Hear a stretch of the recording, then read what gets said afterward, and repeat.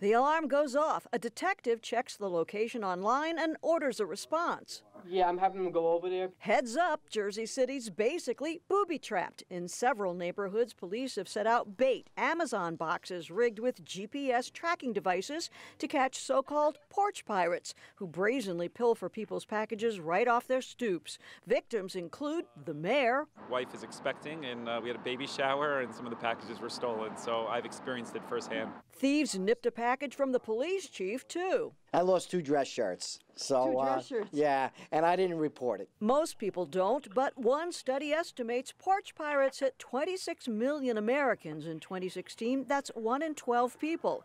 This year, exasperated Jersey City officials reached out to Amazon, which ships more than 600 million packages a year, and asked for help.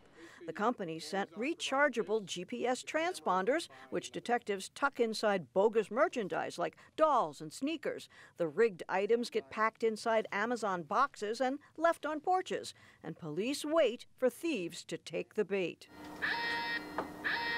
Oh, it's working great. Yesterday, within eight minutes, we had our first hit. He took it out of the box like that, and he was walking down the street, just holding it, just like this.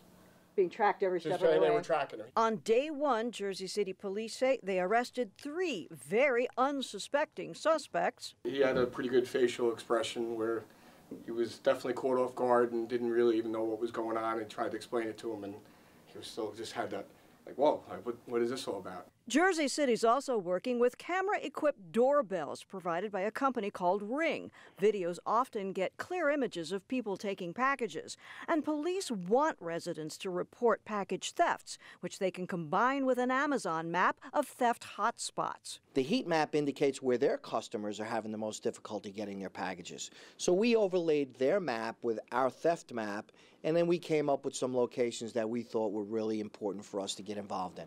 People wait for those deliveries, they track them. It's uh, especially during Christmas time, and uh, when it's not there when you get home, it's uh, it's really disheartening. So this hopefully acts as a deterrent for people. The porch pirate sting will continue throughout the holidays with bait boxes deployed all over town. Police hope thieves do figure out the game is rigged and back off the boxes. In Jersey City, I'm Brenda Flanagan, NJTV News.